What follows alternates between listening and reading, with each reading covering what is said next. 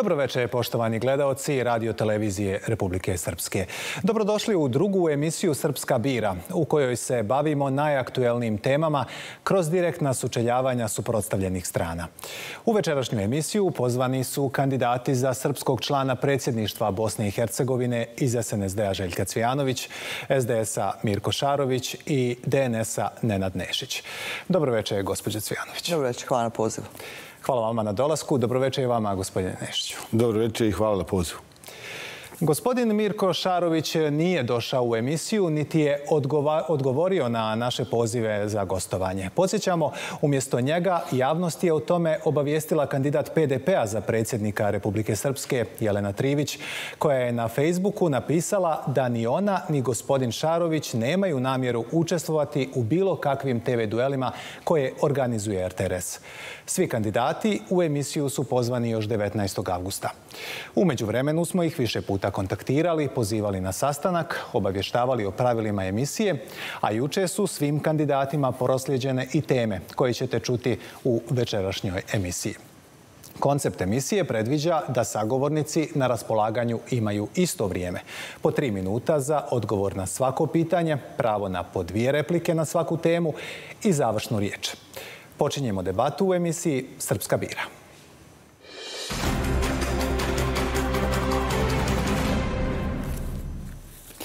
Krećemo sa e, prvom e, temom. E, Gospodin Cvijanović, šta će biti vaš ključni politički cilj ukoliko budete izabrani za srpskog člana predsjedništva BiH? Svakako djelovati u skladu sa Ustavom i očuvati ustavnu poziciju Republike Srpske u jednom reći ću kompleksnom mehanizmu koji se zove predsjedništvo BiH u kojem imate, kao što znate, tri člana predsjedništva, pri čemu se dva biraju sa teritorije jednog entiteta, a treći sa teritorije drugog entiteta, što samo po sebi već upuhćuje i na kompleksnost same institucije, ali isto tako kad malo bolje pogledate procedure, onda vidite da imate mehanizme zaštite kojim treba da zaštitite. Dakle, one koji su vas poslali u to predsjedništvo, a to znači građani i birači iz Republike Srpske. Naravno, uz to sve e, raditi na svaki mogući način da se e, otvori prostor za jednu činjenicu koja je nepobitna i koja je zaista nešto što nam je neophodno, a to je da institucije BiH, bez obzira koje su to institucije, dakle zajedničke institucije, treba da postanu servis entitetima u izvršavanju njihovih teških obaveza, a oni su opet usmjerene na stvaranje boljih uslova za život naših građana, naravno pravljenje bolje infrastrukture i svega nešto drugo što je važno u životu, a imali smo priliku da vidimo u prethodnim godinama i mnogo godina tako, dakle da su u suštini institucije BH veoma često košničari, da oni blokiraju određene projekte, da blokiraju dotok novca entitetima i mislim da je krajnje vrijeme da se počnemo ponašati racionalno sa aspekta onog što jesu naše ustavne nadležnosti, ali isto tako da štitimo naravno svako svoj interes, ali da vodimo računa i o tome e, šta bi to trebalo da bude neki zajednički interes. Dakle, pretpostavljam da u tom narednom periodu neće se možda mnogo toga promijeniti, ali reću da sam ja, ukoliko ima volje za dogovor, uvijek ću biti dio dogovora. Ukoliko postoje određene blokade, onda mislim da treba pokušati na svaki mogući način otkloniti te blokade, a u slučaju da imamo štetne odluke koje su prosjenjene kao štetne po vitalni interes entiteta iz kojeg dolazim, dakle iz Republike Srpske, svakako ću pribjeći onom što se zove ustavna zaštita ili mehanizam zaštite u takvoj situaciji i određenu temu prenijeti u Narodnu skupštinu da bi ona bila i kako i jeste po ustavu konačna instanca da odluči o određenom pitanju gdje ste preglasani od strane druga dva dakle, člana predsjedništva. Međutim, e, kompleksnost same te institucije upućuje i na kompleksnost naše istorije, da tako kažem, zbog čega smo došli do jedne takve institucije. Činjenica da postoje različiti napadi na ustavnu poziciju i Republike Srpske i to ne samo unutar Bosne i Hercegovine, nego reću iz nekog spoljnog svijeta. A to opet podrazumijeva podrazumijeva da i vi morate razvijati svoje mehanizme da se od toga odbranite. Naravno, ako uzmete u obzir šta su to ključne nadležnosti, predsjedništva BiH vidite da su to ozbiljna pitanja, I svakako je veliki izazov dovesti u red spoljnu politiku Bosne i Hercegovine, zašto je po ustavu predsjedništvo i nadležno i zaduženo konačno. I opet u prethodnom periodu imali smo, ili u mnogim godinama iza nas, imali smo zaista situacije, lošu praksu, rekla bih, pri čemu se spoljna politika koristila da bi se stvarala lažna slika o prilikama ili neprilikama okviru BH, da bi se pravio prostor za dominaciju jednih koji bi trebali e, tobože da budu e, najbolji, a svi ostali krivi. Ja mislim da je krajnje vrijeme da se tu stvari isprave i da stvari vratimo pratimo ono što jesu ustavni tokovi, pritome raditi u interesu Republike Srpske ostaje prioritet svih nas koji ćemo biti izabrani na sve pozicije. Gospodine Nešiću, isto pitanje i za vas. Dakle, vaš ključni politički cilj ukoliko budete izabrani za srpskog člana predsjedništva? Prije svega želim da vam se zahvalim što ste nas pozvali, što ste organizovali jednu ovakvu debatu, jer Radio Televizija Republike Srpske je definitivno servis građana Republike Srpske, ne jedne političke partije, bez obzira šta jedna politička partija htjela i pokušavala da dokaže. Također želim da izrazim svoje žaljenje što gospodin Mirko Šarović nije ovdje, jer smatram da je ovo prava prilika da pokažemo ko smo, šta smo i šta želimo da ponudimo Republici Srpskoj. A ono što se ja zalažem i protiv čega se borim jeste upravo protiv crno-bijelog svijeta ili crno-bijelog filma koju predstavljaju i Željka, i gospođa Cvijanović, i gospodin Šarović, jer oni su e, jedna te ista medalja, samo dvije različite strane.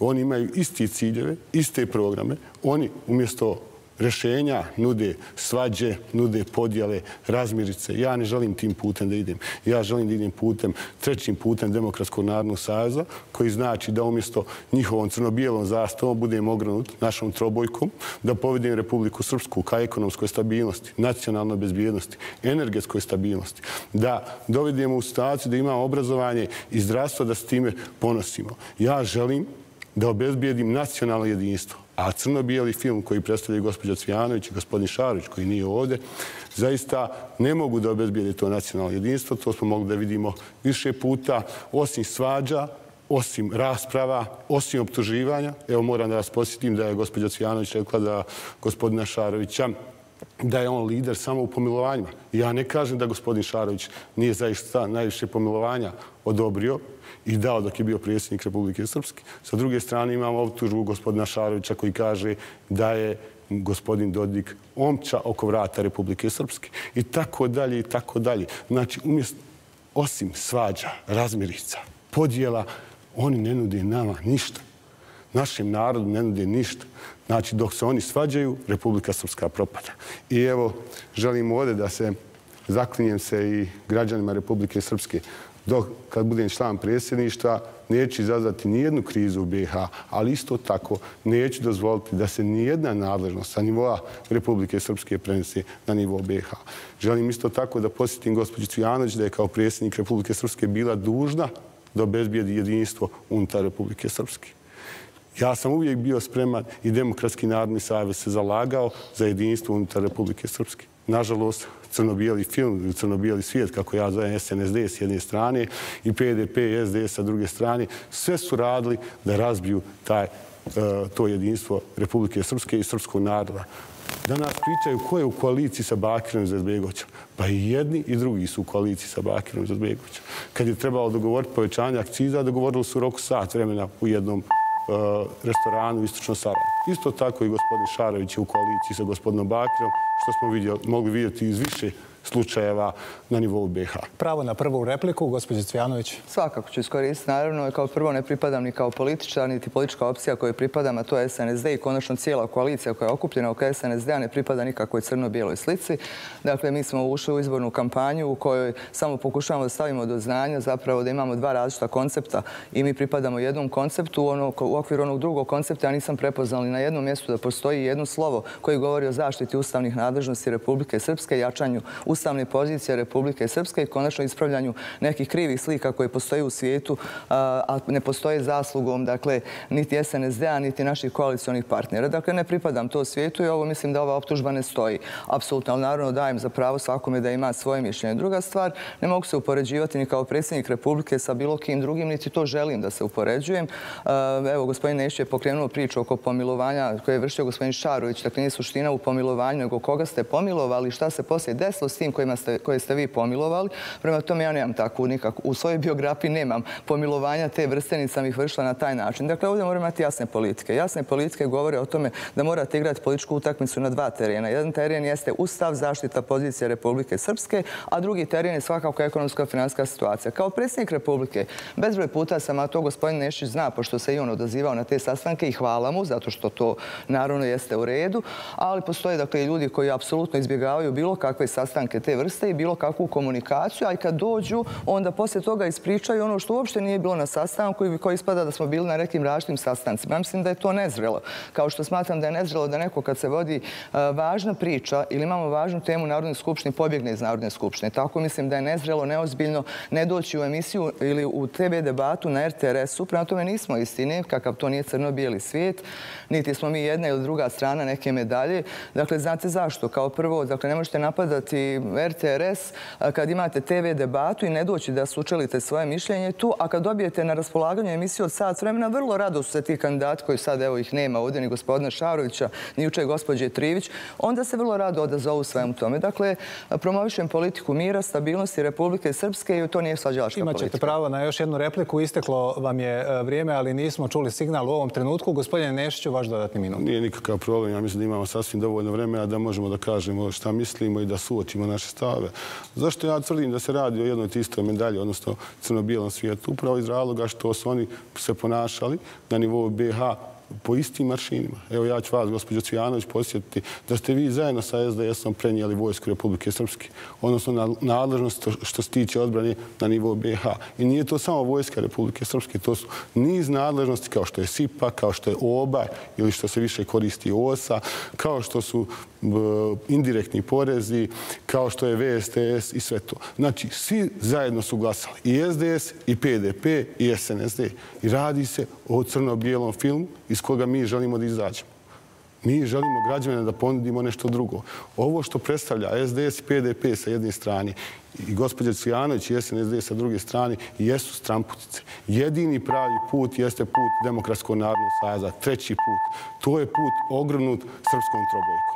I evo, ako mi dozvolite samo da završim. Možete, evo, ovo dodatno. Ja znam da gospođa Cvijanović zna da DNS nije glasao za prenos odbrani na nivou BiH. I ja mislim da je to jedna činjenica koja je poznata našim građanima, a da su zajedno glasali SDS, PDP i SNSD. Gospodin Cvijanović, još minut vremena. Naravno, evo iskoristit ću ja. Prvo moram vas posjetiti da mi nismo ni u kakvoj koaliciji sa SDA. Vi danas kad govorite o ovoj situaciji možete da pogledate. I bezbroj puta smo objašnjavali da se vlast na nivou BiH u okviru savjeta ministra prevashodno sklapa dakle, da tu i nemamo nikakve prave programske ili neke druge koalicije i to je jasna stvar. Ako pogledate činjenica i vi to znate odlično, prema tome nema potrebe da se pravimo da to ne znamo. Vi danas kad pogledate institucije na nivou BiH, vidjet ćete da na brojnim vrlo važnim pozicijama sjede upravo kadrovi SDS-a i kadrovi PDP-a i to vam je poznato. Dakle, ne sjede kadrovi SNSD-a, e, nego kadrovi koji su zahvaljujući SDA-u zapravo na tim pozicijama i to nam je poznata stvar. Što se tiče prenosa nadložnosti, mislim da smo to objasnili bezbroj puta. Dakle, Dakle, prvo ključne stvari su prenesene u vrijeme kad pogledate oko financija i svega, dakle, indirektni poreza za vrijeme Mladena Ivanića, ali isto tako za vrijeme dakle, SDS-a govoreći o odbrani i ostalim stvarima. SNSD je tada bio je opozicija, ali ću vam isto tako reći da jeste SNSD podržao određene stvari, ali nikad ni u Ludlu niko nije pomislio da može da dođe do tako teške zloupotrebe do koje je došlo u okviru Bosne i Hercegovine. Dakle, prenos nadležnosti u određenim stvarima nije rezultirao time da imate bolje, jeftinije, efikasnije, racionalnije eh, institucije i da dobijete veću koheziju društvu. Naprotiv, dobili smo jedan scenariju u kojem je neko sve to uzeo i zloupotrebio i pokušao da napravi format države države u kojem se jedni pitaju, a drugi će postati vremenom manjina. Dakle, stvari su tu jasne. Ali bezbroj puta je to i predsjednik Dodik i mi smo ljudi iz SNSD-a, iz šile naše koalicije, objašnjavali u suštini šta se tada dešavalo. Posljednja replika za vas u ovom krugu, gospodine Nešić. Zašto ja želim da kažem da se radi o crno-bijelom svijetu? Upravo je gospođa Cvijanović rekala da brojne funkcije danas na državnom nivou obavljaju funkcioner PDP-a i SDS. To je isti slučaj i sa funkcionerima SNSD-a. I oni jesu jedna medalja od dvije strane. Znači, funkcionere na nivou BiH imaju i SNSD, i PDP, i SDS. I to jeste crno-bijeli film. Dok oni se svađaju, nude razmirice, oni umjesto da radi na tome da povećavaju penzije i plate, oni jedino što znaju da radi da povećavaju tensije. Mi ne želimo više tim putem. Želimo putem razgovora, putem dogovora, putem dijaloga. Ja ne idem u predsjedništvo BiH da bilo koga pobijedim. Ja u predsjedništvo BiH idem da branim Republiku Srpsku. ali isto tako da pokušam da se dogovorim da krenemo naprijed. Jer zaista ova zemlja više nema vremena da čeka. Republika Srpska nema više vremena da čeka. Nama jeste mjesto u Evropi, nama jeste mjesto u otvorenom Balkanu, ali nam trebaju ljudi spremni na razgovore, na dogovore, na neki način ljudi sa razumom, dosta crno-bijelog svijeta. Istrpili smo vrijeme za našu prvu temu. Druga tema je međunarodni faktor i međunarodni predstavnici u Bosni i Hercegovini. Gospodine Nešiću, vaša tri minuta. Problem međunarodnog faktora jeste upravo problem koji je napravio koalicija SNSD, SDS i PDP. Zahvaljujući njima, taj međunarodni faktor je danas ovdje prisutan. Ja se slažem sa svima onima koji kažu da Kristijan Schmidt nema legalitet i legitimitet i on zaista nema jer nije dobio potvrdu svog imenovanja u Savjetu bezbjednosti. Čak ni jedna članica upravnog odbora za implementaciju mira, to jeste Rusija, nije potvrdila njegovo imenovanje ovdje. Ali je sramota da mi danas ovdje imamo ulogu da smo kolonija. Zašto imamo tu ulogu? Zato što se mi svađamo. Evo, mi smo uspjeli da obezbijedimo jedinstvo kada je donesen Inskov zakon. Koliko to jedinstvo trajalo? Ko je rasturio to jedinstvo? Pa crno-bijeli svijet, crno-bijeli film koji predstavlja gospođa Cvijanović i gospodin Šarović. Sve su rali da razbiju srpsko jedinstvo. Mi danas ovdje imamo gubernatora koji donosi zakone, imamo čovjeka koji donosi zakone umjesto izabranih predstavnika, među koje spadamo i ja i gospođa Cvijanović, mi imamo situaciju da naš posao radi nekakvi visoki predstavnici. Ja sam zato da ovdje zakone donose oni koji su dobili potvrdu od građana na izborima, a ne koje kakvi visoki predstavnici. Međunarodni faktor je prisutan zahvaljujući našim političkim svađama, razmjericama, optužbama. Mi danas treba ovdje jasno i glasno svi da kažemo u Republici Srpskoj da je problem u Federaciji BiH, a nije problem u Republici Srpskoj. A šta mi radimo? Mi stalno namećemo da je problem u Republici Srpskoj. Zašto to radimo? Zato što nekom malo pre sam rekao odgovara da stalno dignu tenzije ovdje, da neko ostvarije svoje partijske e, benefite kroz dizanje tih tenzija. Mi trebamo jasno i glasno da kažemo, gospodine Šmit, niste legalno izabran visoki predstavnik. Nemate pravo ovdje da donosite bilo kakve odluke. A šta dobijamo? Imamo da verbalno govorimo da oni nemaju donijeti bilo kakve odluke, a onda da prihvatimo sve te njegove odluke, od nametnuti odluka što se tiče izbornog zakona i tako dalje i tako dalje. Kad ćemo početi da radimo ono što govorimo? Kad ćemo jedno pričati, a drugo raditi? Kad ćemo izbijediti srpsko nacionalno jedinstvo po jednom pitanju, a to je pitanje odbrane Republike Srpske, njeni nadležnosti, njenog ustavnog položaja. Sve poštujući ustavni poredak BiH, poštujući Dejtonski mirovni sporazum. Evo, gospodja Cijanović je predsjednik Republike Srpske. Njeno osnovno e, jeste da obezbijedi jedinstvo unutar Republike Srpske. Gospodin Cijanović, vi ste kao predsjednik dužni da obezbijedite to jedinstvo. Vi ste dužni da sačuvate Republiku Srpsku. Jeste vi, gospođo Cijano, svjesni da mi bez jedinstva, bez podrške svih političkih partija koje djeluju na prostoru Republike Srpske ne možemo sačuvati Republiku Srpsku? Jeste li vidjeli kad se desio protest ispred OHR-a, kad je Kristijan Šmit htio da donese odluku koja se ne sviđa bošnjačkim političarima? Pa svi su stali ispred OHR-a. Nije bilo podijeli na vladajući na opoziciji. Pa zar nam to nije nauk? Zar to nije nauk srpskom narodu? Kako se brani Republika Srpska?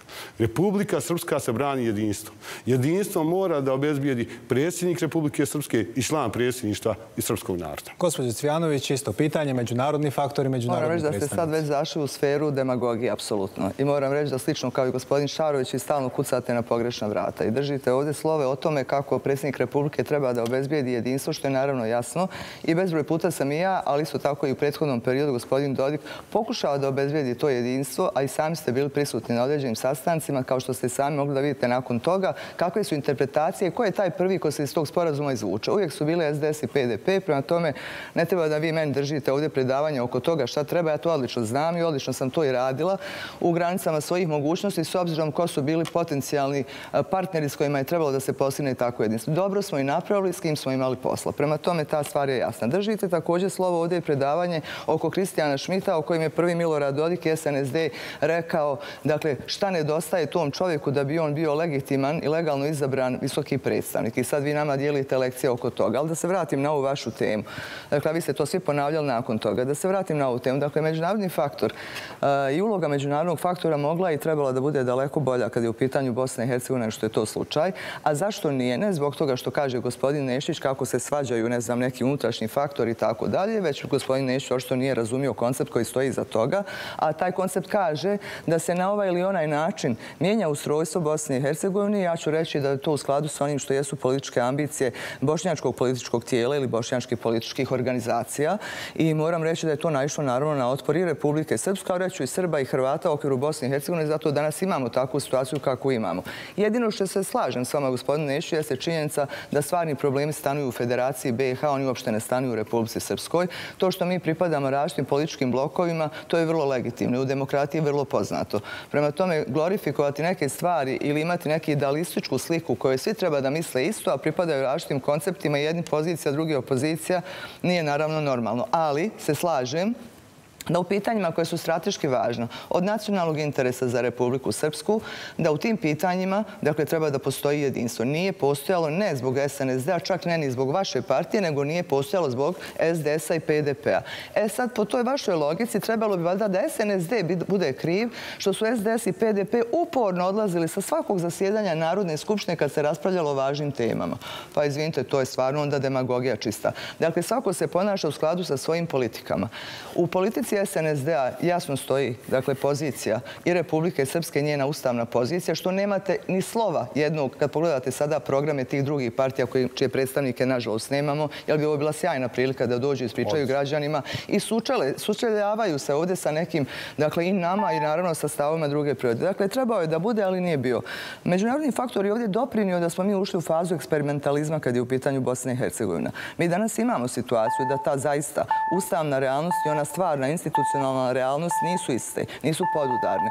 Dakle, razlozi za izlazak iz tako nečega jeste dijelom bilo što su se prihvatale određene stvari, ali reći ću dijelom i to ogromnim dijelom zbog toga što je postojalo nametanje odluka od strane međunarodnog faktora i da su se svi usaglasili, gospodine Nešiću, kao što su se znali usaglasiti nekaga određenim pitanjima, taj visoki predstavnik bi bio tu i bio bi zadržan tu sve do ulaska u članstvo Evropske unije, što se sad neće ili desiti nikako ili će se desiti u nekom veoma dugom, da tako kažem, roku, znajući šta se dešava u Evropskoj uniji. Dakle, on je alat i mehanizam. I ako ste pažljivo slušali, šta vam poručuju zvančnici State Departmenta i sa drugih mjesta mogli ste da e, primijetite da su rekli da imaju dva oruđa u svojim rukama i dva alata. Jedan je visoki predstavnik, dakle, da nasilu mijenja ono što je ustav ovde, a drugi je da nas sankcioniše kad mi nećemo da prihvatimo to što je taj visoki predstavnik nametnuo. Imaćete pravo i dakle, na... Ljudi su to jasno rekli. E, produžit ćemo i vama vrijeme, nije nikakav problem. Gospodine Nešiću, dakle, vaša prva replika. Gospodin Cijana. Minutu dodajte. Vi ste predsjednica Republike Srpske. Niste predsjednica SNSD-a i niste predsjednica članova SNSD-a. Vi nemate pravo da odustanete od srpskog nacionalnog jedinstva. Vi morate svu svoju snagu i kad izgleda nemoguće da se ostvari srpsko nacionalno jedinstvo, da i dalje vjerujete u to i da svoju snagu ulažete u to. Ja znam, gospođo Cvijanović, prisutan sam bio na mnogim sastancima. Znam za nekorektno ponašanje druge strane ove medalje. I znam, ne kažem da nije tako. Ali vi nemate pravo kao predsjednica Republike Srpske da odustanete od srpskog jedinstva. Nemate pravo da odustanete od odbrane Republike Srpske.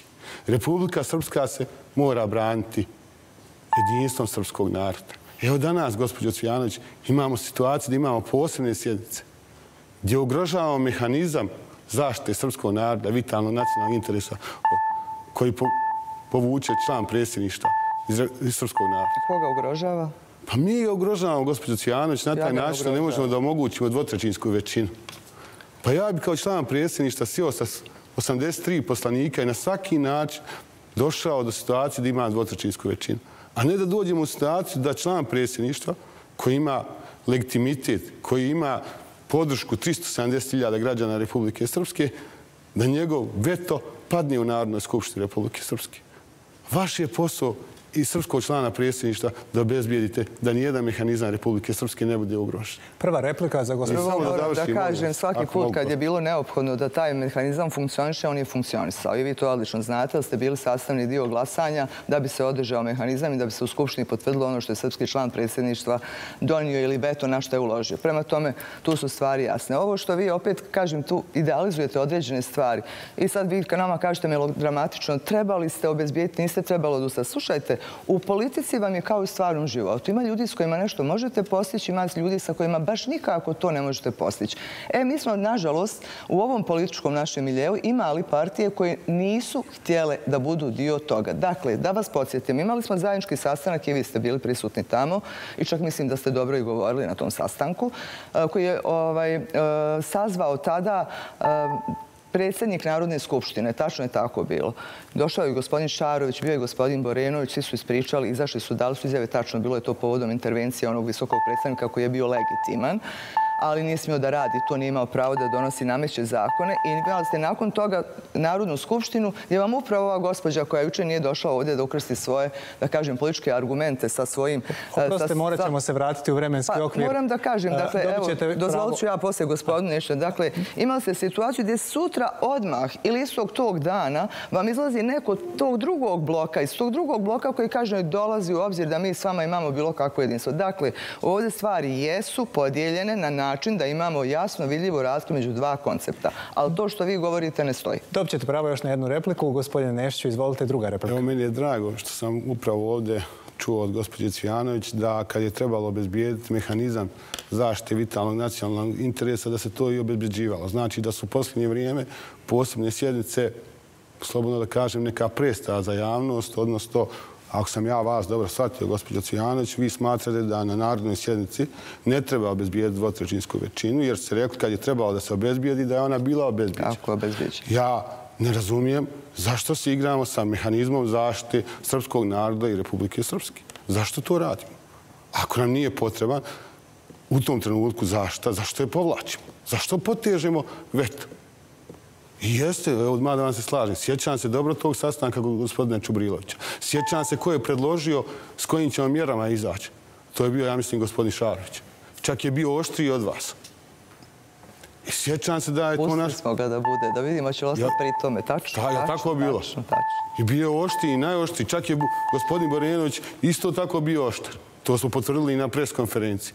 Ali meni nije jasno zašto vi meni danas i ovdje našim građanima Republike Srpske kažete kad treba da se obezbijedi dvotrećinska većina, mi smo je obezbijedili. Zamolite da se vratimo zbog programskog okvira u minutažu određenu. Gospodin Cvijanović, vaš posljednji minut u okviru ove. Nismo se razumijela, ću vam objasniti poslije. Ali isto tako morate se sjetiti nekoliko glasanja koje su slijedili u predsjedništvu BiH odnosili se na uspostavljanje određenih konzulata u Banja Luci. Prema tome imate vi dobro pamćenje i odlično znate kako se šta u politici obezbjeđuje i kad se obezbjeđuje za određena pitanja.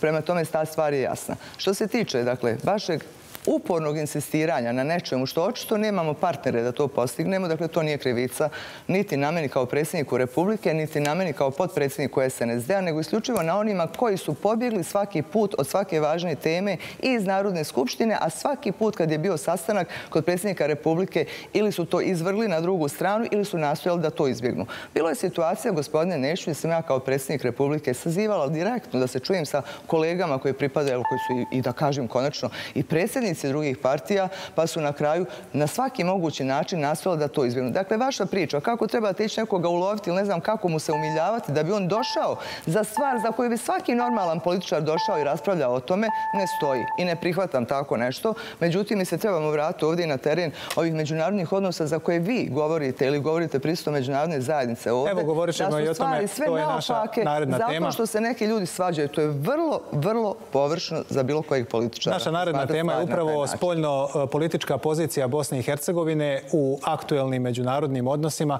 E, Gospodin Cvijanović, vaša tri minuta. Prvo, Bosna i Hercegovina ne uživa nikakav ugled u međunarodnim odnosima i moram reći da je Bosna i Hercegovina sama doprinijela da nema tog ugleda. Ja sam na početku, evo da kažem, ovo gostovanje ovdje ukazala da jedna od zaista suštinskih stvari, s obzirom na nadležnost koja pripada predsjedništvu BiH, jeste da se u red dovede apsolutno spoljna politika. Međutim, opet, ako znate kako stvari funkcionišu, ako nemate normalnu unutrašnju politiku, politiku, ne možete onda realno imati neku koherentnu spojnu politiku. Ali ja mislim da je napor treba da postoji na sve tri strane u predsjedništvu BiH da se to obezbijedi, ali isto tako da niko drugi ne zloupotrebljava ko nije nadležan po ustavu da ono što su mehanizmi ili alati spoljne politike. Nažalost, mi smo se toga nagledali. E sad vi ćete, vjerojatno će gospodin Nešić imati tu svoju neku upadcu, ali da mu kažem, dakle, do koje mjere to ide, da ga podsjetim. Dakle, vi ste imali situaciju da vam ljudi, pojedinci, bez prethodno dogovorenog stava, a propisano da imate prethodno dogovoreni stav, istupaju samostalno, pišu pisma po bijelom svijetu. U tim pismima će ocrniti ili Republiku Srpsku, to su po pravilu radili, dugo godina, a nakon toga su sad počeli zbog izbornog zakona, isto tako da dakle, optužuju i ljude i hrvatsku komponentu političku i slično. Dakle, to je jedan od velikih izazova, definitivno. I ja naravno mislim da treba da postoji dogovor oko tih pitanja, ali isto tako ne mislim da stavim glavu u pjesak zato što neko drugi ne želi dogovor i treba da prihvatam ono što mi neko drugi nameće. Dakle, bojim se da gospodin Neš nije razumio ovaj koncept o kojem smo pričali. Dakle, da za dogovor i da za jedinstvo gdje god ono bilo potrebno da bi građanima bilo bolje, ali izvinite, da osupate od nekih svojih stavova ili da pustite da vas neko maltretira ili pustite da vam neko blokira sredstva, da vam neko blokira projekte, onda ćete vi doći meni reći sve je to u redu, pa prihvate, dogovorite se. S kim se treba dogovoriti? Dakle, mora stanovati dobra volja na sve tri strane u predsjedništvu BiH, kao što mora da stanuje dobra volja u zajedničkim institucijama, savjetu ministara prevashodno, da ono što je interes dva entiteta koja se teško bore i trebaju da pređu kroz sva krize neoštećeno ili da pokušaju to bar da urade, da im ne bude košničar, nego da im bude servis. I vi zato sad optužujete, zato što ste vi zauzeli taj politički kurs, vi nama pričate ovdje o nekom trećem putu, ja ću vama reći da ja nisam ni drugi ni treći put, nego pripadam prvom jedinom pravom ispravnom političkom putu u kojem znam šta se treba postići i treba se dogovarati.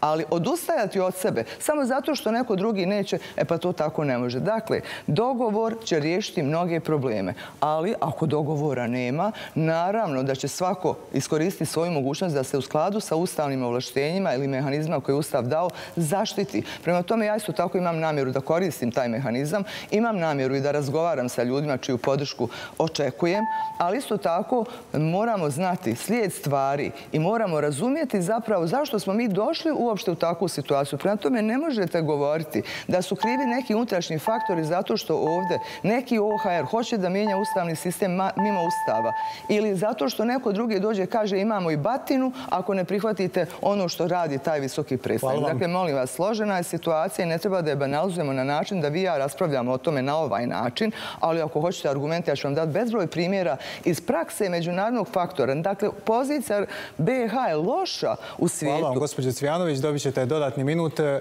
gospodine Nešiću, spoljno-politička pozicija BiH, vaša tri minuta. Ja ne znam odakle da počinjem, da li da odgovaram gospođo Cvjanović kao što ona radi konstantno da odgovara meni ili da kažem o poziciji BiH. Šta? Šta mi da kažem o poziciji BiH? Mi se ovdje zavaravamo da smo mi neko veliki bitni. Mi smo nebitni. Mi smo jedna siromašna zemlja. Naši stavovi se ne čiju u svijetu. Koga to briga? Mi smo na kraju krajeva jedna kolonija. I taj naš kolonijalni status se produžava zahvaljujući između ostalog i gospođe Cvijanović, koja ne želi da shvati da unutar BiH je potreban dogovor. Mi smo zemlja koja je prošla rat. Imamo krizu u Ukrajini. Kakva porka može otići odavde od nas? Samo jedna. Mir, mir, mir. Ne postoji druga poruka koja može otići iz BiH. Šta možemo još poslati? Mi smo neutralni. Nama trebaju prijatelji i na istoku i na zapadu. Ne možemo mi se odreći Evropske unije. A se isto tako ne možemo odreći ni Rusije. Mi moramo da vodimo neutralnu politiku kao što to radi Republika Srbija. Evo, kao što vidite, Republika Srbija daleko odmakla u pristupnim pregovorima sa Evropskom unijom. Mnogo dalje nego mi. Ali nije uvela sankcije Rusiji. Mi ovdje imamo crno-bijeli svijet koji kaže za jedne da su ruski robovi, a za druge kažu da su britanski špijuni. Ma mi smo Srbi. Mi smo Republika Srpska koja ima svoje interese i treba da štitimo svoje interese. I nije ovo demagogija, gospođo Cvijanović. Ja želim da izađem iz vašeg crno-bijelog svijeta. Ja želim da izađem iz 16, 20, 30 godina svađa. Prvo svađa unutar srpskog naroda. Pa onda da pokušamo da izađemo i svađa unutar BiH. Dok se svađaju, mi propadamo. Mi imamo situaciju da je ovdje očigledno vrijeme stalo. Ljudi ne mogu da shvate da je završena 92. a 95. Imamo gospodina Šarovića koji je 2002. bio kandidat za člana predsjedništva i 2022. je opet kandidat za člana predsjedništva. Je to ljudi realno? Imamo stalno ogrnutu tu crno-bijelu zastavu. Hajmo trećim putem, hajmo putem Demokratskog narodnog saza, koji kaže dogovor, razgovor, dijalog, koji kaže saradnja sa susjedima, saradnja sa Evropom, koji kaže otvoreni Balkan. Evo ja vam ovdje obećavam kao srpski član prijesedništa da ću uvesti BiH u otvoreni Balkan. I bio sam neki dan na sajmu vina u okviru otvorenog Balkana. Žao mi je što gospođa Cvijanović nije bila. Ne znam zašto nije bila, ona je prijesednica Republike, pa neko objasni gledalcima zašto ona nije bila tu. Što sam mogao tamo da vidim? Vidio sam i Albaniju, vidio sam i Crnu Goru, i Srbiju. Vidio sam ljude na štandovima koji žele da sarađuju, koji žele da ekonomski sarađuju. Niko me nije pitao, gospodine Nešću, šta mislite o ovom ono. Nek smo me pitali, da li možemo u Republike Srpskoj da prodamo robu? Zbog destruktivnog ponašanja bošnjačkih političara, i to nije kriva gospođa Cvijanović, moram da kažem, BiH danas nije u otvorenom Balkanu. Hvala vam. kako ćemo otvoriti taj otvoreni Balkan? Da li gospođa Cvijanović ima ideju, način? Evo prilika za repliku, gospođa više od vas znam i otvorenom Balkanu i Evropskoj uniji o kojoj ste malo čas pričali, kako je to naš prioritet i ja se slažem da jeste. Ali recimo, kad ste već primijetili ko je sve bio po sajmu, niste nikako mogli, jel tako, da primijetite da je tamo bio i srpski član predsjedništva BiH, a koji dolazi dakle, iz Republike Srpske, gospodin Dodik, a niste vidjeli ni ministre, ni druge predstavnike, zato što ste vi to odlučili da ne vidite, nego držite ovdje predavanje. A prvo da vam kažem, što se tiče otvorenog Balkana, dakle, podrška za taj projekat apsolutno postoji u Republike Srpskoj. Mogli ste primijetiti da ste htjeli da je čak više, ne znam, ja prije godinu dana vlada Republike Srpske apsolutno jasno podržala taj koncept i rekla da mi od toga imamo koristi. Da smo bili inicijatori razgovora privrednika dva entiteta, gdje su se oba entiteta, dakle privrednici, složili da je to u interesu. Zašto vam ne bio interes da možete brzo da preozite robu bez bilo kakvih kontrola, da imate migraciju na tržištu radne snage, a da ti ljudi ne odlaze u zemlje zapada, zapadne Evrope, pa da imate priznavanje diploma, automatski i slične stvari koje to sve nosi, integrisane turističke ponude i sve drugo što to znači. Dakle, mi smo zato, ali sad ste samo malo se dotakli onog što je živa istina, tu i jedina istina, a to je činjenica da to remeti bošnjački faktor. Znate zašto? Zato što oni ne vole i da učestvuju u bilo kojem konceptu u kojem imate Srbiju prisutnu, a pogotovo kad vidite da Srbija jeste i gabaritna, i dominantna, i najpotentnija definitivno zemlja, koja može i treba da bude motor razvoja u cijelom Balkanu. Hvala vam, isteklo vam je vrijeme. Gospodine Nešiću, druga replika. Evo, zašto gospođa Cvijanović ne treba da bude srpski član prijesedništva? Upravo je rekla na otvorenom Balkanu je bio srpski član prijesedništva gospodin Dodik, pa ja ne moram ni da budim. Inače, tako je i provela četiri godine svog mandata sakrivena iza Milorada Dodika. Nama u prijesedništvu BiH treba autentičan čovjek. Čovjek koji zna i ko je i šta je. Koji može da donese odluke, da ne pita nikoga kakve će odluke. Čovjek koji će biti predstavnik svih građana Republike Srpske. Ja kao član predsjedništva neću predstavljati Demokratski narodni savjez. Ja ću predstavljati srpski narod. Jer to, gospođo Cijanović, morate da shvatite. Vi kao predsjednik Republike Srpske niste član SNSD-a. I niste podređeni gospodinu Dodiku. Da vam samo kažem, uopšte se ne kandujem više za predsjednika Republike, pa, pa da vi to malo pređete na teren na repliku, Da ne ulazimo u raspravu. Nije, ali gospođa Cvijanović, ja želim da vam objasnim da vi ni, ni funkciju predsjednika... Vrlo rado ću vam objasniti. Ako dozvolite, završim. Završite rečeno. Da, naravno. Da, i funkciju predsjednika je na neki način prepustila gospodinu Dodiku. Znači, gospođa Cvijanović, nama u predsjedništvu treba čovjek koji će da se bori za interese Republike Srpske, a da prethodno ne mora nekog da pita šta da radi u kričnoj situaciji i nastavit ćemo. Od vas i od gospodina Šarovića se sigurno boriti na svakom mjestu na kojem se nalazim. Tako sam se borila i na ovom mjestu na kojem sada nalazim, a isto tako i onom budućem koji ću imati. To je jedna stvar. A druga stvar, dakle, šta su vaši argumenti dakle, za otvoreni Balkan? Kako je moguće da niste došli na jedan događaj vezan za otvoreni Balkan? Da ja vas pitam, a što vi kad ste tako već znalac svega toga, što se vi niste pojavili kad sam ja razgovarala u Sjevernoj Makedoniji o određenim procesima u kojim treba da učestvuje Bosna i Hercegovina i razgovarala o tome na koji način da privolimo druge naše ljude koji žive ovdje, ali oni u federaciji da to prihvate. Dakle, nemate saznanja uopšte o tome, ali volite da pričate, jer vam je neko napisao da to tako treba da kažete i sad vi to uporno ponavljate. Ja kao predsjednik Republike obavljala sam svoj dakle, posao u skladu sa Ustavom i nije mi trebalo niko da mi daje ni savjete, ni da mi neko posebno drži slovo kako vi to sad govorite, ali to je vaša omiljena tema. Vi da ste ostali direktor puteva Republike Srpske, uopšte ne bi imali nikakvu primjedbu na moj rad ni predsjednika, ni ranije predsjednika vlade, ni na moju kandidaturu za za srpskog člana predsjedništva. Dakle, tu su stvari jasne, ali ajte da mi se vratimo na argumente. Kako ćete vi obezbijediti, kako ćete vi obezbijediti, dakle, da vam učestvuje cijela BH što treba da se desi, to nam objasnite, pa ću vam vama objasniti kako ja to mislim obezbijediti. Dakle, u nečem što zove Otvoreni Balkan ili Imam pitanje, još jedno, naravno. Pošto vi nećete da pitate. Cvijanović mora produžiti ovu emisiju, jer puno je tema. Nismo odavno pričali, pa vjerovatno nismo ni podijeli. Pa možda možemo dobiti od trećeg kandidata koji nije došao u vrijeme, pa da onda to fino... Ja mislim da ga koristimo. Gospodine Nešću, izvolite vaše vrijeme. Gospodin Cvijanović, molim vas, pogledajte. Vjerujte, sve je to lijepo što vi pričate. Ali vama narod više ne vjeruje. Ne vjerujem da niste u sjeni Milorada. Vidjet ćemo. A znači, ovo šta je vama tema? Nevjerovatno. Znači, vi, gospođo Cvijanović, narodu srpskom treba u predsjedništvu čovjek koji će da provede osam sati dnevno najmanje u tom predsjedništvu. A ne da dođe dva sata i da ga nema mjesec sat, mjesec dana. Da bude sedam dana u nedelji. Jer za interese Republike Srpske se bori u predsjedništu BiH u Sarajevu. Ja znam i upravo ste, gospođo Cvijanović, da ćemo teško napraviti konsenzus sa Bošnjacima. Nisam ja neko ko to ne znam. Ja sjedim dole u parlamentu BiH i znam šta nam misle. I meni, i vama, i svima nama ovdje u Republike Srpske. I većini stvari se slažem sa vama. Ali nemamo pravo da odustajemo. Imamo ustavni okvir.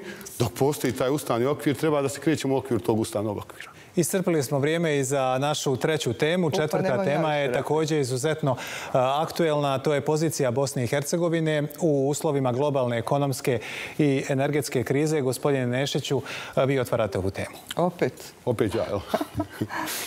Ja zahvaljujem se. I mi imamo jednu sreću. Republika Srpska je energetski stabilna. Na našu sreću imamo dovoljne resurse. I ti resursi, prirodni resursi nas održavaju imamo situaciju da imamo neizvjesnu situaciju kako će se odvijati ova zima, kako ćemo dočekati ovu zimu. Imamo situaciju da ne znamo šta će biti sa gasom. Imamo gradove koji se griju na gas, kao što je istočno Sarajevo. Nemamo od vlasti Republike Srpske ni od vlasti BiH. Nemamo nikakve konkretne mjere. Nemamo sistemske mjere. Ne znamo šta i kako su se pripremili da spremno dočekamo ovu zimu. Ja znam da će gospođa Cvijanović reći, pa dali smo 100 konvertibilni marak. Jeste tačno, dali ste gospođa Cvijanović. Ali je potrošačka korpa skočila za 500 maraka. Što ne kažete, gospođo Cvijanović, imaćete stvari priliku da kažete, da je budžet od indirektnih poreza danas veći za milijardu i pol. Od toga 500 miliona pripada Republici Srpskoj. Šta ste spremili za naše građane da mogu dočekati zimu? Zašto socijalne kategorije nismo makar subvencionisali da možemo da se griju ove zime? Šta smo uradili po tom pitanju?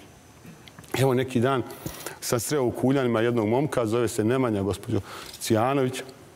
Ima deset ispita je položio, od deset ispita ima devet desetki i jednu devetku, studira u Foči, ali ne može da nas da uči iz razloga što mora da radi preko ljeta da je mogu da plaća kiriju. Gdje je vaša briga, gospođo Cijanović, o tim mladim? Baš volim što ste to sve tako pokrenuli od teme. Pa eto, lijepo, super, drago mi, nadam se da ćete odgovoriti. Imali ste priliku, evo imali smo priliku da kad su sa Bakirom dogovarali oko akciza, dogovorili su za sat vremena. Sad imamo trzavicu ili trakavicu, šest ili osam mjeseci, ćemo smanjiti akcize ili nećemo smanjiti akcize. Zašto na osnovne životne namirce nismo ukinuli PDV? Zašto ne čuvate ovaj ovdje narod? Zašto činite sve da ovdje jedino funkcionišu autobuske stanice? Da narod odlazi odavde. Zašto, gospođo Cvijanović, ste danas, odnosno prije neko vrijeme, prije 5-6 dana, izašli sa pričom nacionalne plate majkama s četvore i više djeci? 20 dana pred izbore. Gospođo Cvijanović, da vas posjetim, koliko se ja sjećam, vi 10 godina obavljate najviše funkcije u Republike Srpskoj. Zar je toliko trebalo vam vremena da kažete da su majke sa četvero i više djece heroj Republike Srpske? Da sada predložite da dobiju nacionalne plate.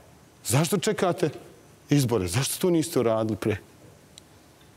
Zaista, ja bih volio da od vas koji obavljate najvišu funkciju, koji ste na neki način predstavljate Republiku Srpsku, da nam date konkretne odgovore. I da vas posjetim, vi uvijek možete sazvati vladu, presjedavati vladom i tražiti da vlada donese konkretne mjere. Hvala vam, gospodine Nešiću. Prvo vam moram odgovoriti. Prvo da vam ja odgovorim, pošto vi stalno aludirate Milorad Dodik i tako dalje, sa Miloradom Dodikom zaista, mislim da sam zaista dobar tim i sve poslove koje smo do sada radili, radili smo na vrlo korektan način, na način kako vi nikad verovatno nećete moći da okupite ekipu i da na taj način proizvedete određene efekte. Što se tiče ovih stvari, vi ste to kao maštaru jednu. Postavili ste pitanje jedno, a vi pričate o svemu drugom, pa ću ja vama odgovoriti na te stvari. Dakle, kao prvo, e, intervencije dakle, prema našim korisnicima ovdje u Republice Srpskoj su tolike, ali vi niste nikad se uputili na to da pogledate šta to znači. Koja je podrška porodici, koja je podrška majici, roditeljstvu i svemu drugome, ali To sve nije dovoljno. Iz tog razloga proširujemo naše mjere i proširili smo. I ne znam što vama smeta što je donesena mjera koja podrazumijeva da će nezaposleni roditelj dakle, ili majka koja ima četvoro ili više djece imati dakle, naknadu bukvalnu platu od 750 maraka. Vjerovatno vam smeta i ova najnovija mjera u kojem smo rekli da će prenatalni testovi biti besplatni za naše trudnice ili se nedovoljno obavješteno svim tim stvarima.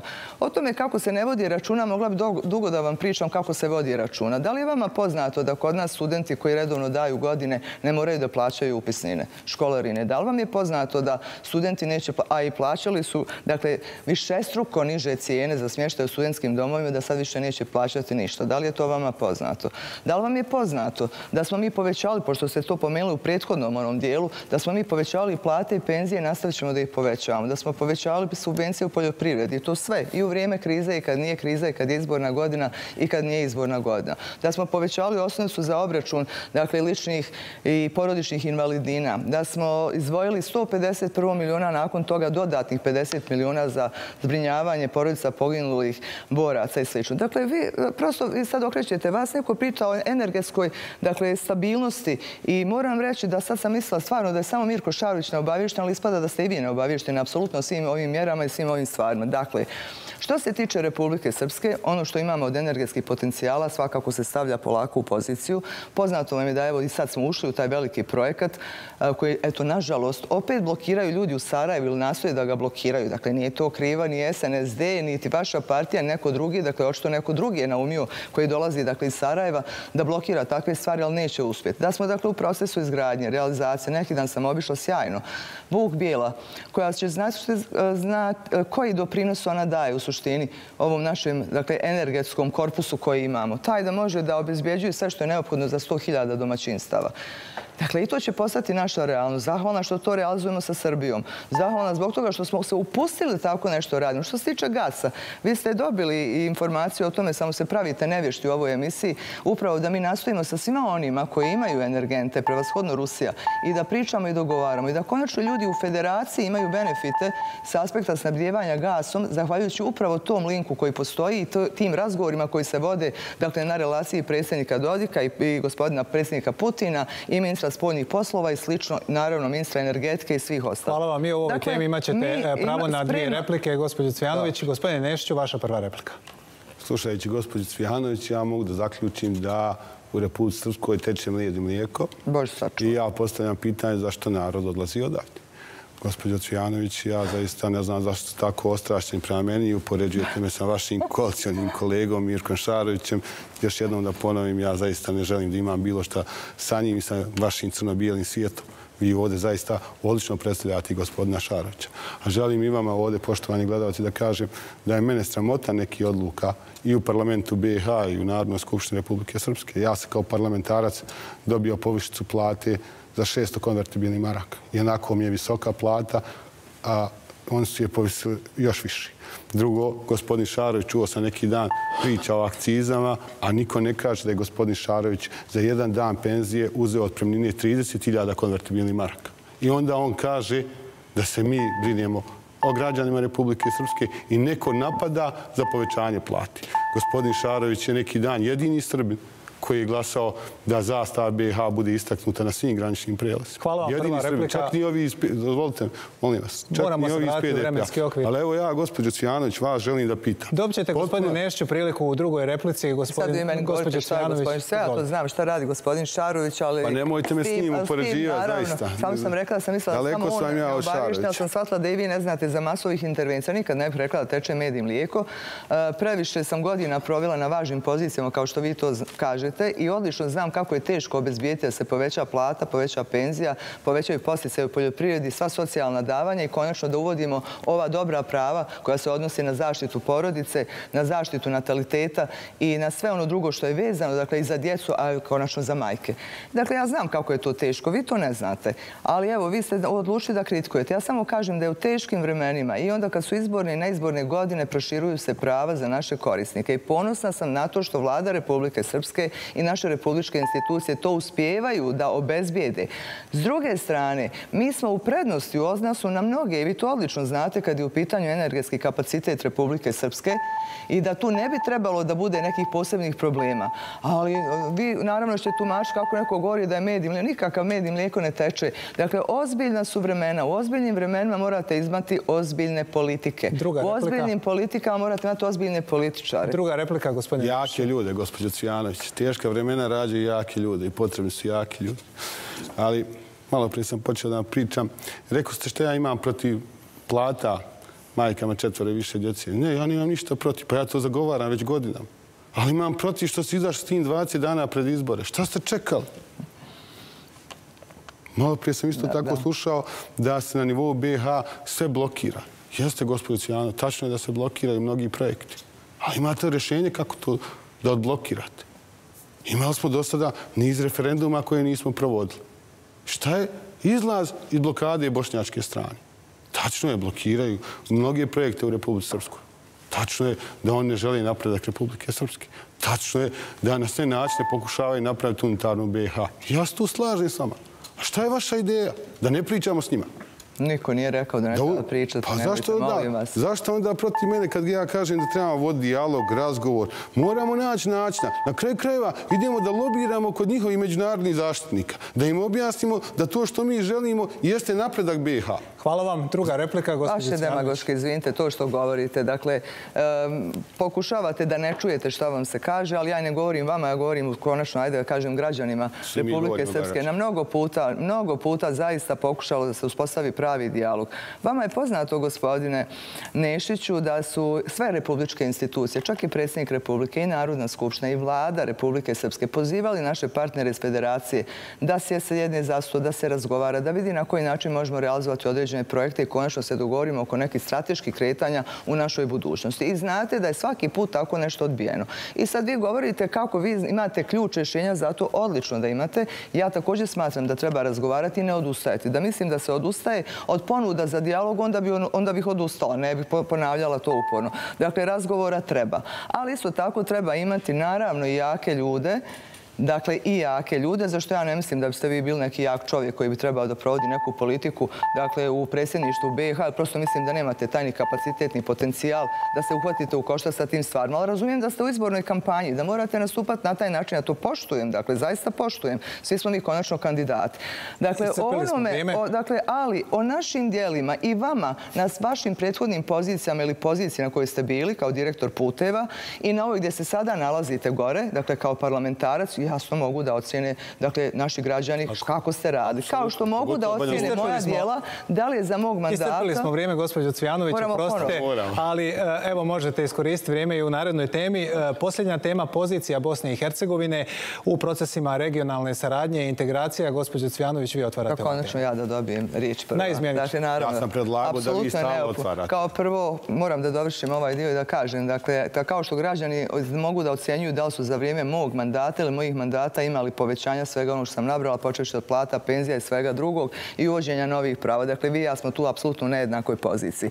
Što se tiče regionalne saradnje, prvo mislim da je pozicija Bosne i Hercegovine i tu veoma loša. Bosna i Hercegovina je svađalačka zemlja. Svađe dolaze iz političkog Sarajeva, nisu nikada došle iz Republike Srpske. Iz političkog Sarajeva, osim što nama blokiraju projekte, nastoje da blokiraju projekte i u državama, dakle, susjedstva, odnosno našeg okruženja.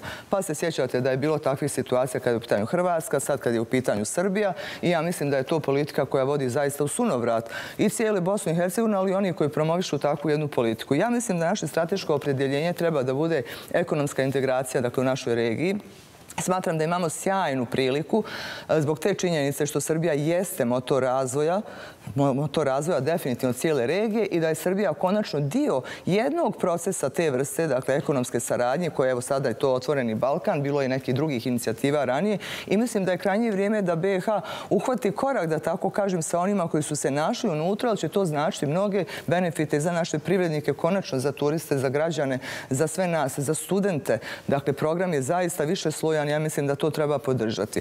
Ali s druge strane, ako pogledate sad, dakle, e, mi ne očekujemo da imamo apsolutno političko razumijevanje sa svakim u našoj regiji, razumijemo da je bila neka teška prošlost, da smo kroz to prošli, ali isto tako razumijemo da putem tih ekonomskih, da tako kažem, projekata ili infrastrukturnih projekata koji će nas povezivati, da bi trebali nekako da gradimo bolje odnose i ja mislim da je Republika Srpska tu apsolutno opredjeljena. Dakle, hoću da kažem da ono što Republika Srpska nosi kao svoj program, a to imati dobru regionalnu saradnju, imati dobre odnose sa zemljama okruženja, je svakako ću ja kao član predsjedništva BiH prenijeti na tu sferu i promovisati ono što jeste bolji zajednički regionalni, da tako kažem, život svih nas. Ali evo, pošto nismo se dotakli malo čas, žao mi je da nismo se zadržali na toj temi, ali gospodin Neš krene sa ovim svojim demagoškim stvarima. Pošto on kaže da može sve da riješi i da ispregovara određene stvari, ja bih volila da on pogleda kao jedan parlamentarac koji zarađuje zaista veliku platu na nivou BiH, da pogleda recimo onaj spisak želja koje je izbacila Evropska unija, nazvala ih 14 prioriteta i da mi kaže da li bi svih 14 prioriteta on kao neko ko dolazi iz Republike Srpske prihvatio i rekao da je to u redu, ili to podrazumijeva neki drugi put. Taj neki put drugi se dešava, vode se razgovori, pokušava se olabaviti određene stvari, nastoje se naći rješenje za određene stvari. Dakle, ja kao, evo, da sumiram nekako ovo, ima jedna stvar u kojoj se zaista slažem sa gospodinom Nešćem, to je to da su problemi stvarni, oni zaista stvarni problemi koji nas koče sve, smješteni u Federaciju BiH i da mi samo od toga trpimo štetu, a da nisu kod nas. Gospodine Nešću, regionalna saradnja i integracija... Ja ne znam odakle bi krenuo Prvo moram da odgovorim gospođu Cijanović. Jeste tačno, gospođu Cijanović, kad sam bio direktor, nakon 11 godina, to predzijeće je dobilo pozitivan revizorski izvještaj. Evo, to može da potvrdi i bivši gradonačelnik Igor Radović, koji može da kaže da se najviše radilo za vrijeme mog mandata. Želim da posjetim gledalce, pogotovo iz Banja Luke, da je za vrijeme mog mandata spojena istočna i zapadna i tranzit u Banja Luci. Posle 40 godina. Čekao su Niješća s Romanije da dođe da spoji taj tranzit. Posle ne znam koliko su uklonjene kućice ovde. Čekali opet mene. Jeste, tako je, gospođo Cvijanović. A ja vas pitam, i mene pitate da 14 prioriteta kao parlamentarca. I odmah da kažem i za ovu platu, boj. Ja jesam rekao, ovdje sam javno rekao da je moja plata previsoka. I da je to sramota. Ja nisam glasao za to. Vi znate da je to zakonski. Slažem se. Ali šta vi radite, gospođo predsjednice, sa 10 miliona i 320 hiljada konvertibilnih maraka godišnje vašim budžetom? Pa pogledate u budžetu, raspored budžeta i bude vam jasno pa koliki dio nama javno da objasnite, prikazete. I to je to. Da mi vidimo. Ja vas, vi mene pitate za 14 prioriteta. Nenad Nešć, Srbin iz Republike Srpske. Evo, da čuje i međunarodna zajednica. Mnogi od tih prioriteta nisu sprovodili što se tiče srpskog naroda. Jel slažete sa mnom? Ne slažem se ja s vama, ja odlično znam šta piše u 14 prioriteta. Znam ja šta piše. Šta se može izvršiti, šta se ne može izvršiti Zašto ste vi čutali kad je vaš predsjednik partije prihvatio briselski sporazum? Zašto tada niste pozvali da se odustane od briselskog sporazuma? Vi, vi, pa je li istina ovo što ja pričam? Gospodine Nešću, imate pravo na svoje minute. Pa briselski sporazum, o briselskom sporazumu ste već dobili. Briselski sporazum je sve ono što mi ne možemo prihvatiti. Gospodja Cvijanović kao predsjednik Republike je šutala na to. Nije odgovorila. Gospodin Borenović je rekao u Briselu. Ovo je za mene prihvatljivo. Ali neću da prihvatim zato što je prihvatio Milorad Dodik. Gospodin Šarović, još gori, nije došao u Brisel. Da se ne bi zamjerio i da mogu negdje s kraja nekog Republike Srpske da kritikuje. Ove što su prihvatili. Što nisi došao u Brisel i rekao, za razliku od gospođe Cijanovića, ja isto mislim i u Banja Luci, i u Briselu, i u Sarajevu. Ja sam Srbin iz Republike Srpske. Ja sam dijete Republike Srpske. Ja želim i hoću da štitim interese Republike Srpske. I mnogo sam jači od vas, gospođo Cvijanović, ne mislim fizički, nego što se tiče pritisaka. Mogu da odolim svim pritiscima kad je u pitanju Republika Srpska, za razliku od vas, za razliku od vašeg crno-bijelog svijeta. Meni moja partija nije iznad Republike Srpske. Republika Srpska je iznad svake partije, iznad svakog partijskog interesa. I nikad neću ugroziti interese Republike Srpske da bi možda poboljšao svoj rejting ili svoje političke partije. Prva replika. Naravno, imen moja partija nije iznad Republike Srpske i pokušavate ponovo da banalizujete određene stvari. Dakle, suštinski, osnovni i glavni prioritet političkog rada koji imamo u okviru moje partije koja se zove SNSD jeste upravo Republika Srpska. Prema tome, to su opet neki vaši mali trikovi gdje vi pokušavate da sebe kao dimenzionirate kao nekog velikog političara, znalca i ostale stvari. Dakle, e, tu smo jasni. Republika Srpska jeste prioritet. Ja ne moram to da naglašavam kao vi, ubjeđujući dakle, javnost oko toga. Nova javnost je imala priliku da mene vidi na različitim pozicijama i bez obzira što su vama vaši mentori, instruktori koji su vas spremali za ovu emisiju dali sa tim svojim crticama. Tu sad ćete vi pričati ovdje i ponavljati. Moram reći da ste i dosadni malo s tom pričom crno-bijela zastava, crno-bijela priča. To me posjeća na one koji onako papagajski ponavljaju crvene linije, crvene linije, crvene linije, zašto su to vidjeli u nekom stranom izvještaju i onda poslije toga nema do crvenih linija. Dakle, što se tiče vašeg učešća u briselskom sporazumu, ono što je tamo prihvaćeno, vi to bolje znate, ali ste bili tamo, ali ja znam na koji način se odvijala i diskusija i na koji način je došlo do uslovno rečenu saglasnosti u određenim stvarima. Kao što znate da je splet stvari koje je uslijedio nakon toga odmah demantovao sam brisalski sporazum i nije potrebno ni vi da to kažete, ni da to kaže, ne znam, Milorad Dodik ili neko drugi. Što se tiče određenih pitanja koja su tamo precizirana, moram reći da e, njihov akcenat je jedini na tome, jedino, vjerujte, jedino, i to znam bolje od vas, na tome da se formira vlast na nivou BiH.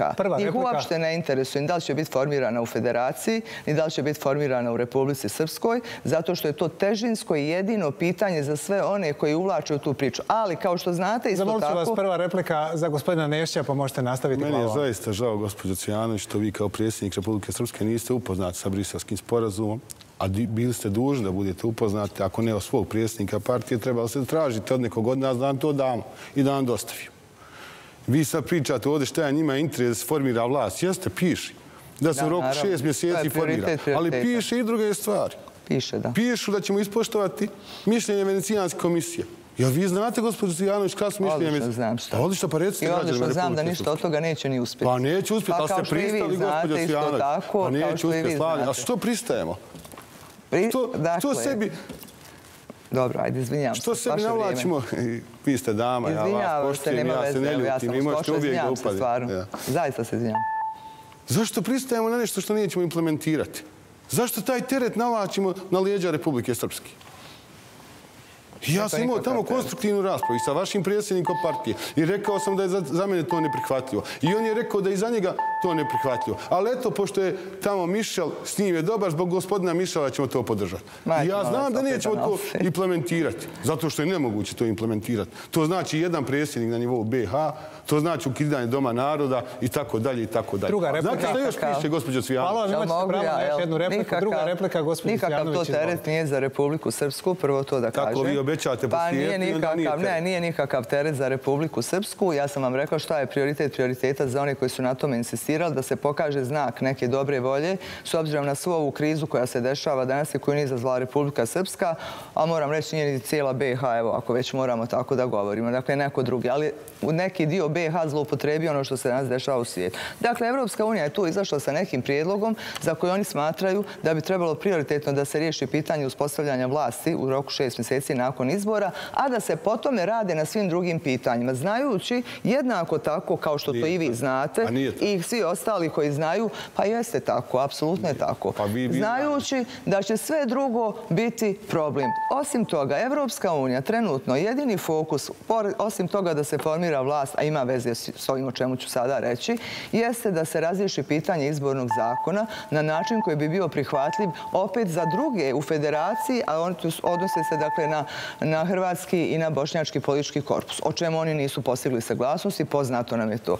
Dakle, sav fokus je na tome.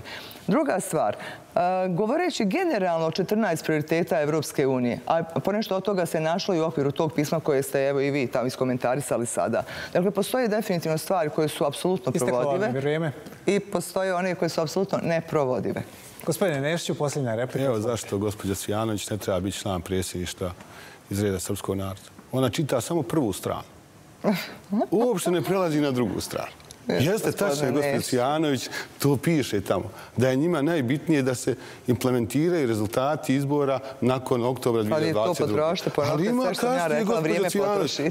Tu piše da ćemo poštovati odluke međunarodni i domaći sudova. Evo ja vas pitam, možemo mi ispoštovati odluke Ustavnog suda BH? Ili ćete mi reći da Ustavni sud BH ne spada pod međunarodni i domaći sudove?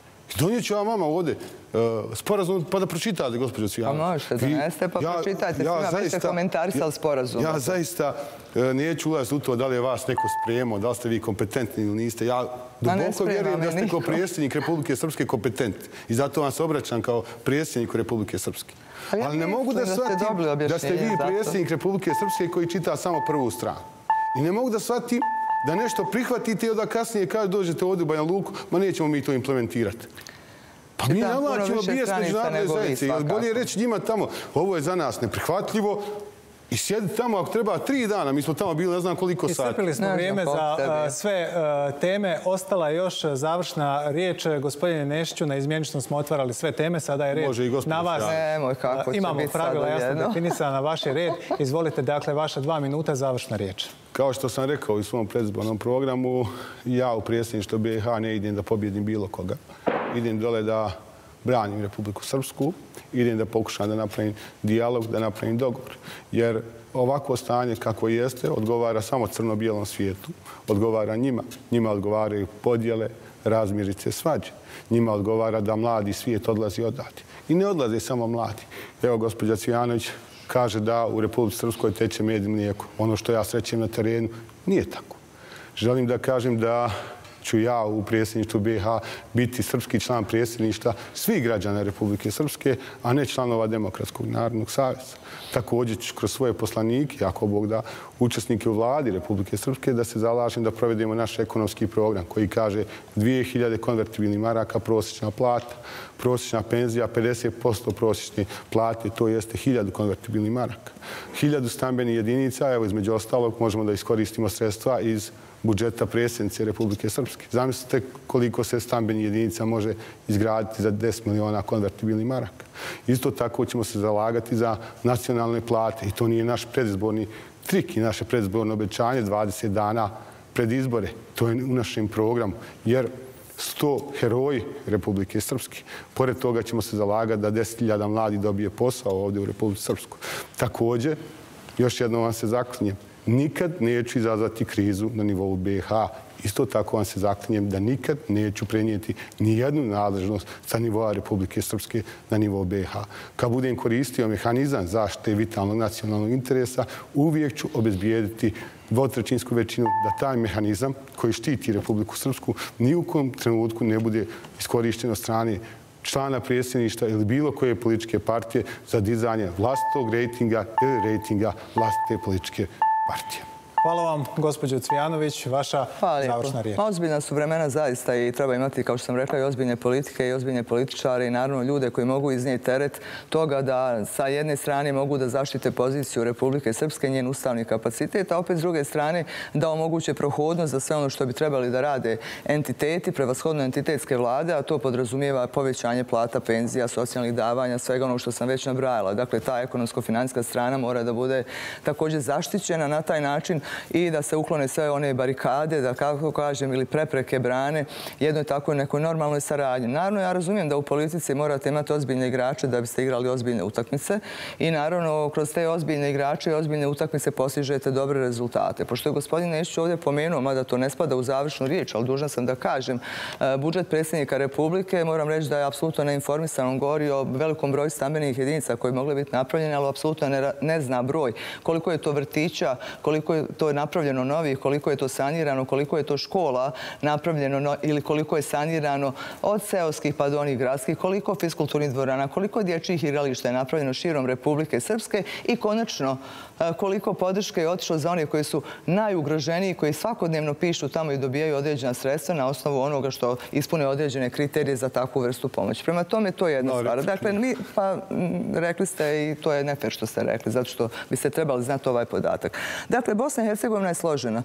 Ona je posebno u ova teška vremena, reću, suočena sa nekim izazovima. Ja mislim da moramo imati ljude koji mogu iznijeti te terete i konačno mi moramo imati organsku vezu između onoga koje je izabran kao srpski član predsjedništva BiH sa onim koje se predsjednik Republike i naša vlada koja se nalazi u Republici Srpskoj i to je definitivno važno da bismo mogli proći kroz ta teška vremena zajedno, a ne da igramo kao odvojeni timovi ili ne znam kako, bez bilo kakve harmonije. I ono što, ću, što sam također rekla jeste naše strateško opredjeljenje mora biti približavanje BiH, dakle našim zemljama u susjedstvu da bismo od toga vidjeli ekonomsku korist. Preoshodno tu vidim poziciju Srbije i na sve moguće načine zaista ću raditi da, da ta veza bude bolja. Hvala vam, gospođo Cvjanović. Hvala i vama, gospodine Nešiću, što ste na javnom servisu Republike Srpske govorili o ovim najznačajnijim temama.